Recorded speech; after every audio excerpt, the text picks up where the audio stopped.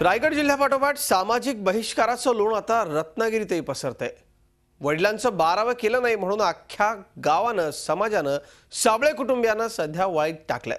त्यामुळे साबळे कुटुंबीय न्याय मिळवण्याकरता झगडतायत. पाहुयात आमचे प्रतिनिधी प्रणव पोळेकर यांचा एक स्पेशल रिपोर्ट रत्नागिरी जिल्ह्यातल्या चिपळूण तालुक्यातलं हे आहे मार्ग ताम्हाणे गाव. याच गावात गोपाळवाडी म्हणून एक पंचेचाळीस उमऱ्यांची गोपाळ समाजाची एक छोटी वस्ती आहे. त्याच वस्तीत हे साबळे कुटुंबीय राहतात. मनोहर आणि चंद्रकांत साबळे यांचे वडील तुकाराम साबळे यांचं पंधरा डिसेंबरला निधन झालं. सव्वीस डिसेंबरला वडिलांचं बारावं करायचं होतं त्यामुळे दोन्ही भावांनी गावकीची बैठक बोलावली आणि सांगितलं की आम्ही अंधश्रद्धा मानत नसल्यामुळे बारावेचे विधी करणार नाही. गावाला जेवण घालायचं ते मात्र घालू मात्र गावानं या गोष्टीला विरोध केला आणि अख्ख्या वस्तीनं साबळे कुटुंबियांना वाळीत टाकलं. गावाडीची एक सभा जमवली आणि त्यांना म्हटलं की जे अ, बाराव्याचे जे विधी असतात ते आम्ही काही करणार नाही. की भटजी आणून वगैरे सर्व काही विधी करतात ते आम्ही काही करणार नाही. आणि आम्ही आमच्या पद्धतीने साध्या पद्धतीने करू जेवण वगैरे लोकांना घालू आणि आम्ही संपवून टाकू.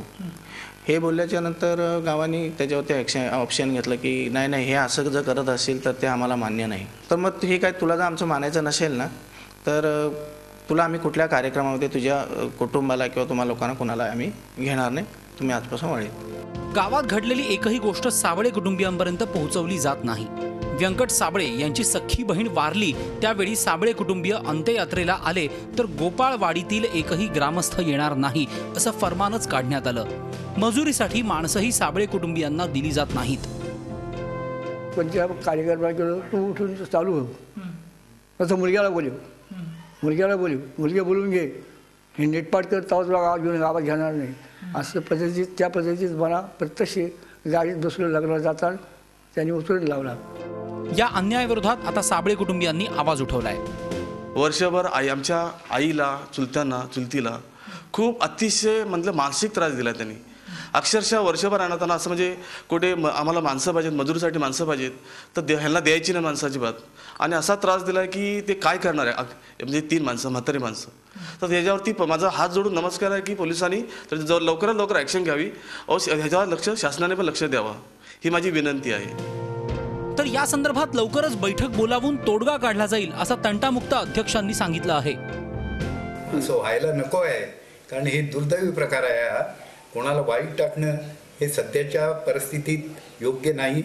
त्याच्याबद्दल आम्ही चौकशी करू. अशी प्रथा थांबवण्यासाठी केवळ समाज प्रबोधन करून भागणार नाही तर समाजातल्या अशा अपप्रवृत्तींना आळा घालायचा असेल तर कडक कायद्याची गरज आहे. त्यामुळे वाळीत टाकण्यासारख्या अनिष्ट प्रथांना काही प्रमाणात पायबंद घालता येऊ शकेल. वडिलांचं बारावं केलं नाही म्हणून साबळे कुटुंबियाला अख्ख्या वाडीनंच वाळीत टाकलंय. खरं तर महाराष्ट्रासारख्या प्रगतशील राष्ट्रामध्ये खरं तर अशा प्रकारच्या घटना होणं हीच खरं तर दुर्दैवाची बाब म्हणावी लागेल. Video journal Deepak मोहितेसह Pranav Polekar Zee media Guhagar Ratnagiri. Zee चोवीस तास रहा एक पाऊल पुढे.